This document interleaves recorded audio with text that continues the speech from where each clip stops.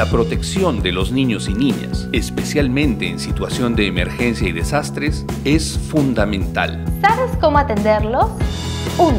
Denuncia si eres testigo de cualquier tipo de violencia y explotación en contra de niños, niñas y adolescentes.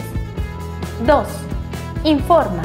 Si un niño se encuentra en situación de abandono, se debe garantizar la búsqueda de familiares a través de la DEMUNA, Defensoría y Policía Nacional del Perú. 3. Protege, garantizando entornos seguros para niños y niñas, apoyándolos en su recuperación física, psicológica y emocional. Una sociedad informada es una sociedad protegida y preparada. Una sola fuerza por la infancia.